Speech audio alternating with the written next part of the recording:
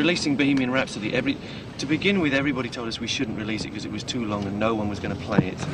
And we stuck out for it. They said we should edit it, and we said nope, it goes out in full or it doesn't go out at all. And we were very arrogant and, you know, full of, you know, the way we are about it. You know, you do it the way we want. But I think we were pretty shocked at the, re- the reaction it did get, which was colossal everywhere in the world, I suppose. Very recently in England, it was it was still voted the number one song Of all time, yeah. And Which I is- think it, it's sort They of did a sort of nationwide survey Yeah. of students, which I find amazing. Mm. Students now voting it. So that, that's quite incredible. Stairway to Heaven was number two, I think. It's very strange because we were fairly famous for a long time in England, you know, the last 15 years or whatever, but we didn't become a prey to these kind of scummy papers until recently.